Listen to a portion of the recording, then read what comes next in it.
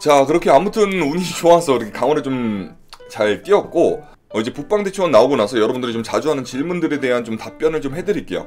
왜 북방대치원 3굴, 6굴, 9굴에서만 사냥을 하나요? 이제 각 10층 단위마다 이제 마을이 있는 층이나 이런 거에 따라 좀 층수가 변화가 좀 있긴 해요. 한 층씩 밀린다든지.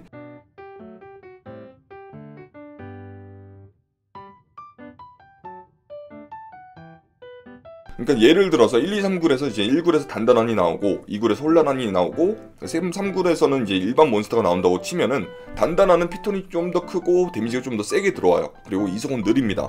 이제 혼란은 이제 만화를 태워요. 만화번이죠. 일반 3층은 이제 뭐 일반 뭐 수식어가 없는 몬스터들은 그냥 아무것도 없는 그냥 일반 몬스터가 됩니다. 자 그렇게 해서 이제 10층 이후에 마지막 세 굴은 마비나 뭐 각종 CC기가 있기 때문에 비선호 지역이 돼버렸고 그래서 370 이전에는 6굴 혹은 뭐 7, 8, 9굴 이런 각 10 층, 20층 초반굴에서 이렇게 사냥만 하고 있는 상태입니다. 이제 360에서 370을 빨리 찍으려면 어떻게 해야 돼요? 라고 질문을 많이들 하시는데 딱히 효율 좋은 사냥터가 있지는 않아요. 그냥 꾸준히만 돌려야 되는 구간인 것 같아요. 거기를 좀 쉽게 뚫을 수 있는 방법은 아직 발견된 건 없습니다. 자 그래서 370 지역을 진입하기 전에 세팅을 좀 잘 갖추고 올라오는 게 사냥 속도가 빨라집니다. 피통 30층 때 몬스터가 더 낮다고 해도 피해 저항 값이 높기 때문에 아래층 몬스터보다 데미지가 덜 박히게 돼요. 뭐 예를 들어 금강 기준으로 9층에서 3억 대를 박았는데 뭐 37층에서는 1억 후반 혹은 2억 요 정도밖에 안 박히거나 뭐 이런 현상이 있긴 했었거든요. 그렇기 때문에 좀 어느 정도 세팅을 해서 올라오는 게 좋을 것 같습니다. 그래서 예리한 2차 게임 무기 재료 수급이 가장 빠른 곳은 7굴, 8굴, 9굴인 것 같습니다.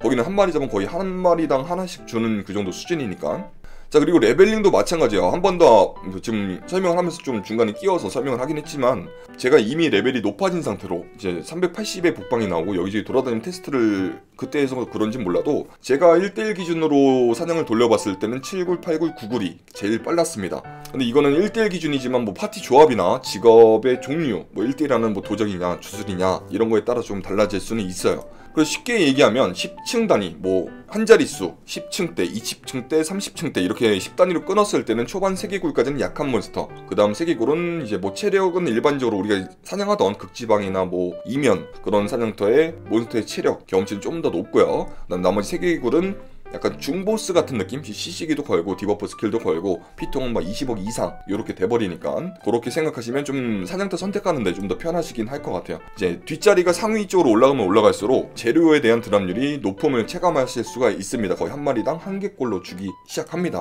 자 그리고 도사분들이 이제 뭐 주술사, 도적, 뭐 이제 전사도 이제 mana 사용처가 생기면서 공력 주입 때문에 뭐 고민들을 많이 하실 건데 백호의 희원을 빼세요. 왜? 생명의 기원이랑 공력 주입이랑 cool이 따로 돕니다. 그래서 동시에 쓸 수가 있어요. 그러면 뭘 넣냐? 생명 스틱이 좀 모자라. 그럴 때 구름의 희원 정도. 생명 스틱이 모자라는 경우는 도사수가 부족하거나 아니면 도사끼리 서로 마티를 해준다든지 그런 상황이 일어나서인데 그럴 때 구름의 희원 정도로 이제 서로 체력을 채워주는 그리고 생명은 격수에게 몰빵해주는 그런 식의 세팅을 좀 하실 수가 있습니다. 자, 그 다음에 이제 요거죠. 태고가 있고 없고 차이. 이거는 되게 많이 실험을 했나봐. 이거 확률적으로 떨어지는 거라 확실하게 적용되기는 힘들잖아. 다른 분들이 좀 실험을 해서 저한테 데이터를 보내주셨는데 태고가 있고 없고 차이는 막타를 친 기준이라고 해요. 그러니까 내 그룹에 어, 이 사람 태고가 없는데? 어 뭐야 어떻게 드랍률 떨어지는 거 아니야? 그게 아니라 몬스터를 죽이는데 막타 친 사람이 태고가 있으면 태고가 적용이 되고 태고가 없으면 태고가 적용이 안 된다고 합니다 아시겠죠? 근데 태고를 쓰는 거는 뭐 drop률이 아니라 경험치랑 수리 때문에 쓰잖아요. 보부상 때문에. 자, 그 다음은 피해 저항 관통이 요번 북방나무 새로 나왔죠. 이 능력치에 대해서 좀 브리핑을 좀 해드릴까 해요.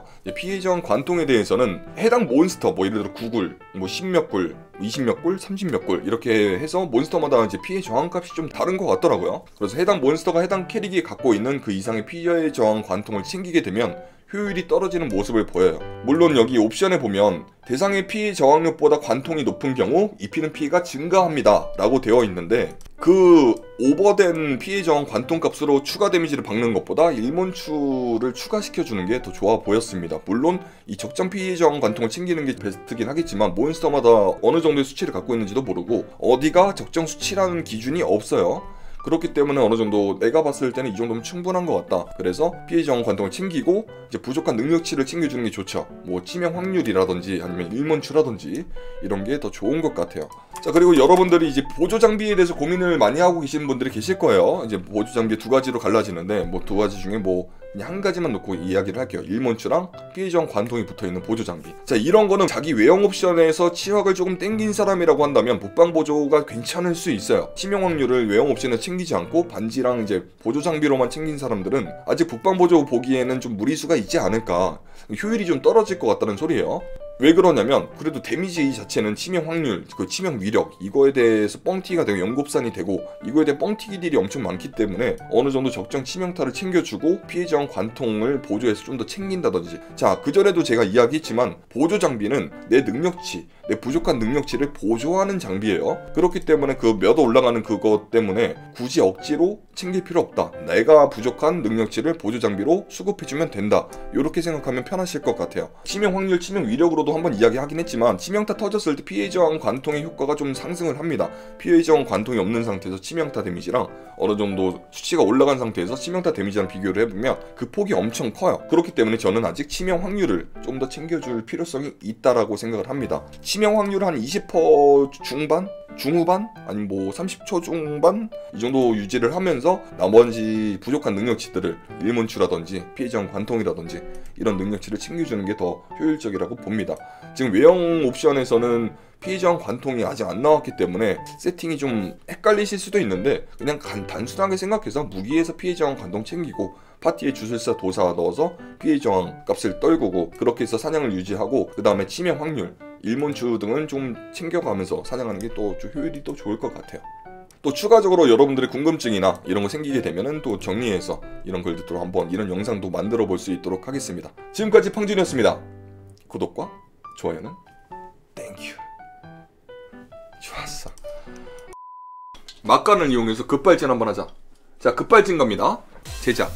그 총 매지 안 넣었어요. 확률은 60% 갑니다. 확인. 뚜껑. 오, 60%두 개 붙었다. 자, 강화 갑니다. 60% 2연속? 왜 그러냐? 10일 뜨고 나서 뭔가 내 맥이 풀리나, 야. 오, 오, 야, 씨발, 강 보팔이야!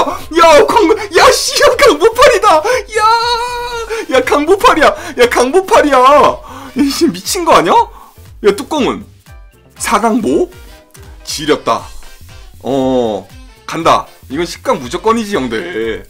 아, 미안해. 아, 야, 오늘 옛깁 11강 띄우고 뭔가 맥이 풀리나 보다, 형들. 야, 지렸다, 씨. 촉진지 없으니까 그냥 자연빵으로 갈게요, 형들. 아, 10에 5비 안 붙어? 9강이냐, 11강이냐야? 9강은 왔거든? 근데 촉진지가 없어. 10, 10. 오! 10! 11. 흐름. 강화는 뭐라고? 흐름이야. 그치? Nope. 음 그렇구만. 가자. Nope. 야 잠깐. 아 씨발 괜히 싫어. 야팔 야 팔풍 되는 거 아니지?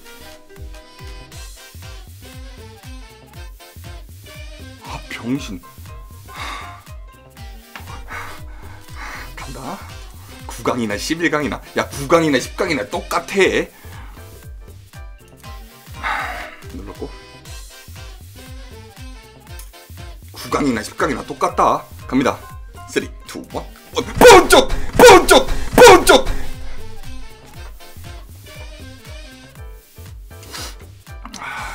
복구.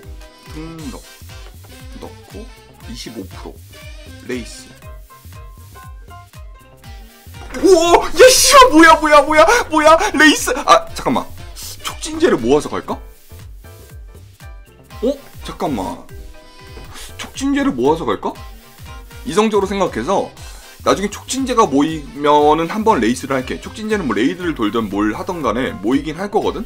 이거 모아서 갈게요, 형들. 이성적으로 생각하자. 어차피 난 바람에 이제 더 이상 과금을 세게 안 할 거기 때문에. 자, 자 이제 뚜껑 갑니다. 뭐냐 오늘?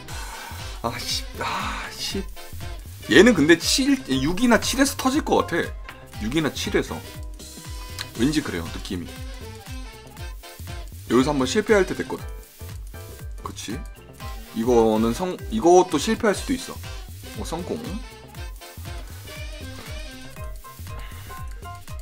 7. 여기서 실패하겠지? 50%니까. 반반. 실패한 님 성공인데 왠지 너는 실패할 것 같아. 오, 성공. 8강. 9강 가면 nice. Nope. 7, 6팡 예상합니다. 개 Nope. 같은 게임.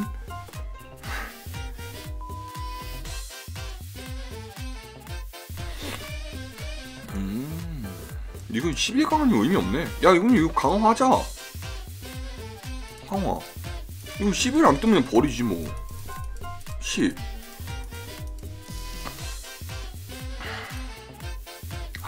Nope. 그냥 킵해두고 나중에 복구 재료로 쓸게요. 이 유튜브가 뭔지, 어? 이 유튜브가 뭔지 자꾸 무리를 하게 되네.